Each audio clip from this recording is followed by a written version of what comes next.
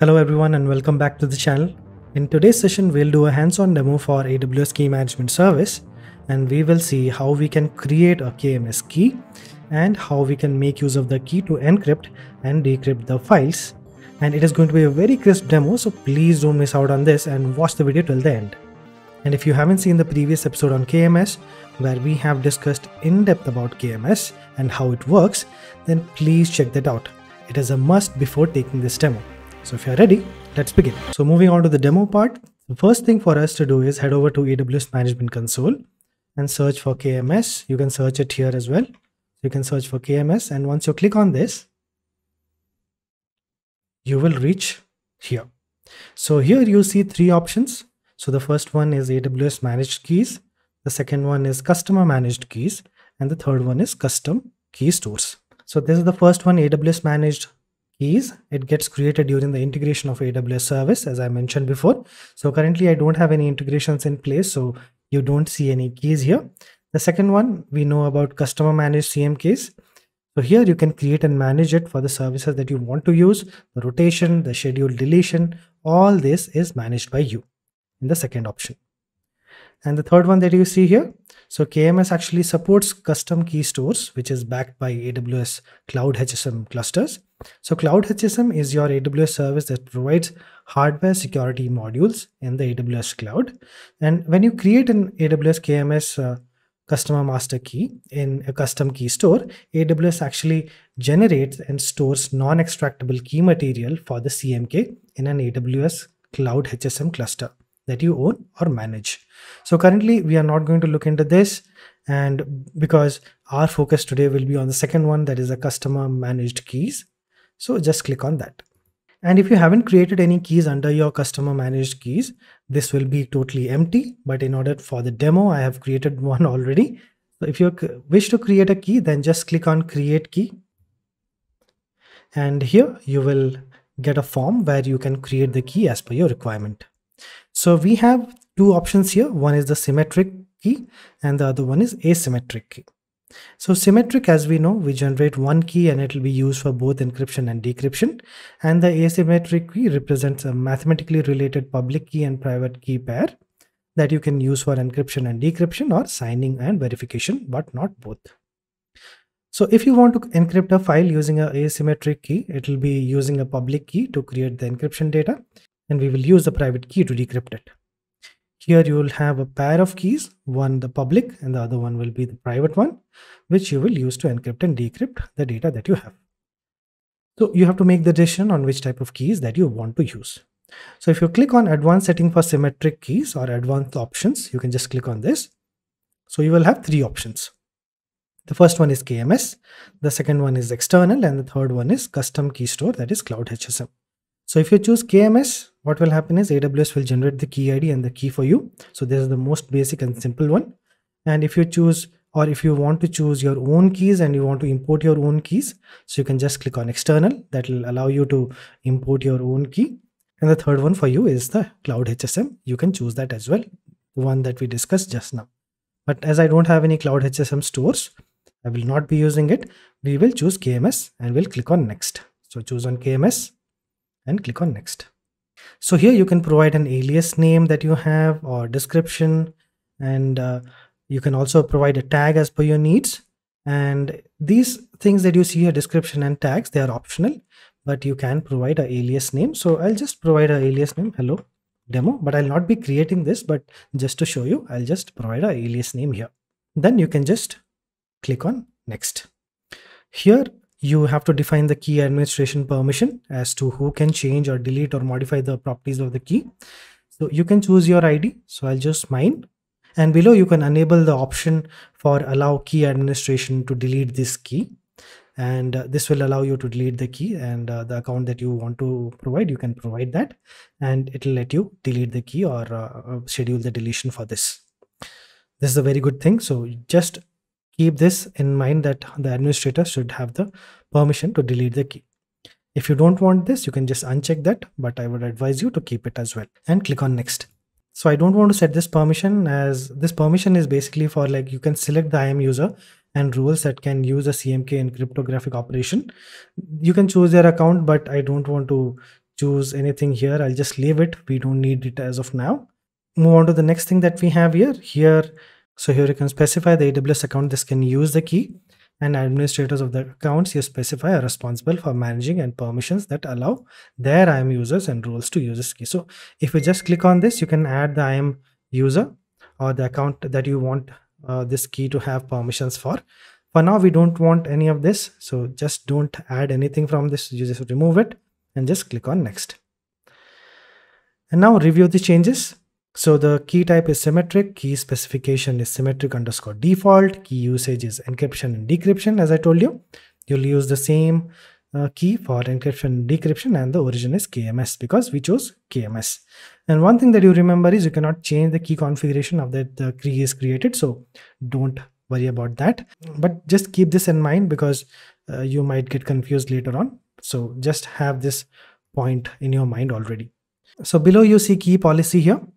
And here, the most important thing for you to note is the SID. So come down. So if you see here, the SID we have allow access for key administrator, effect is allow.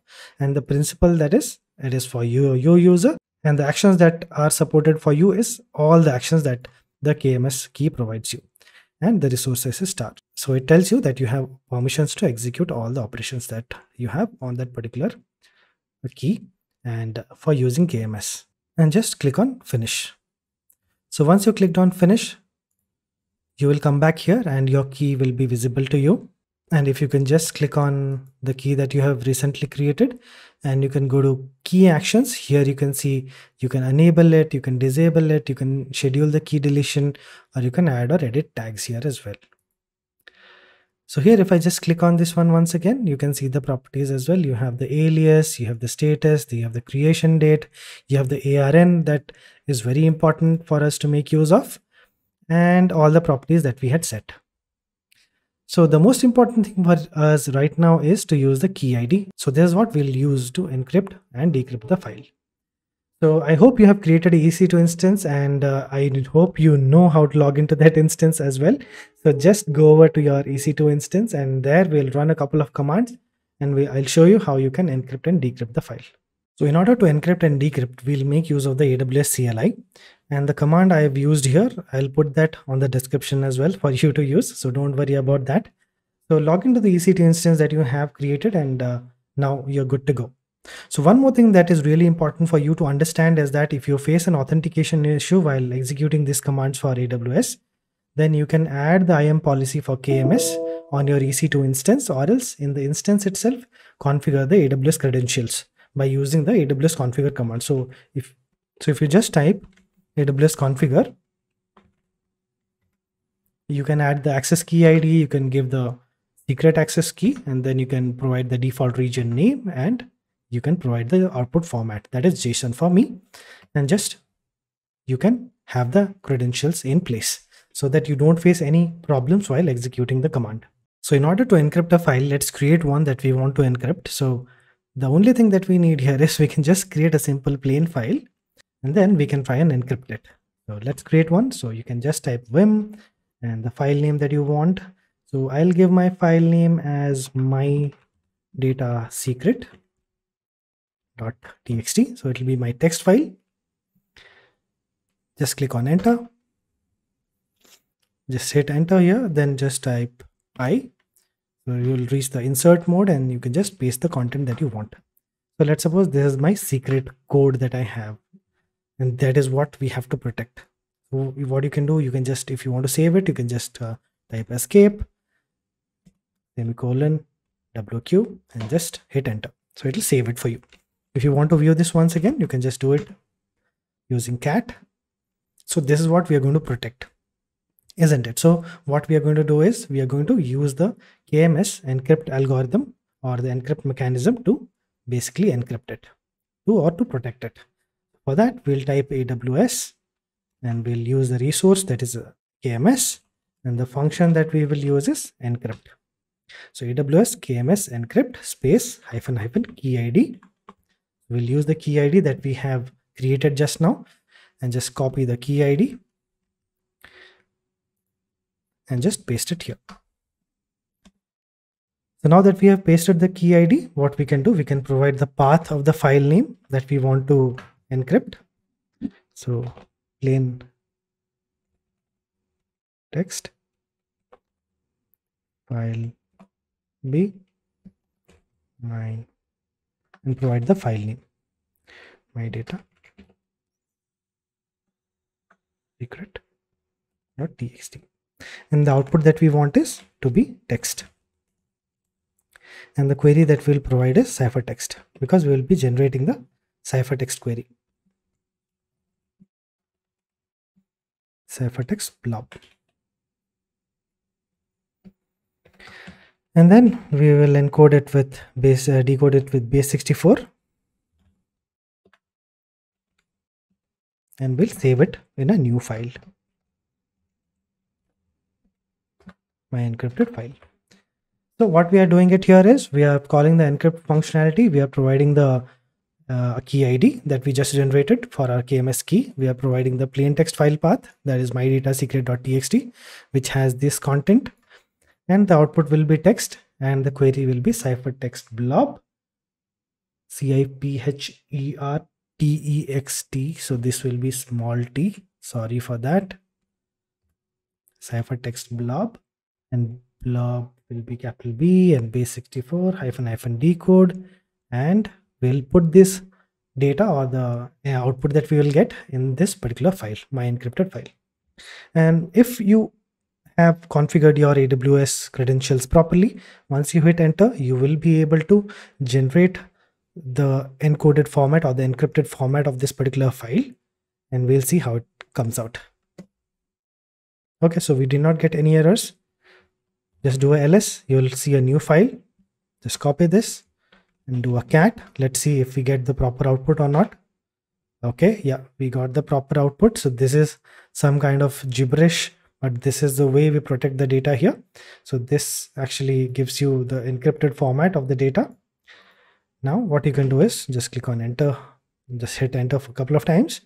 And now that you have this particular file this is your secret file and you can share it with anyone in order to keep it secure. And if they have the key that you are using for encryption they can also decrypt it so how are you going to decrypt this message once again? So we'll use the same AWS KMS uh, decrypt command. Decrypt.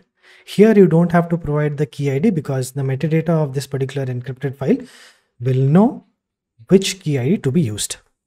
So don't worry about that. So the ciphertext blob will be ciphertext hyphen blob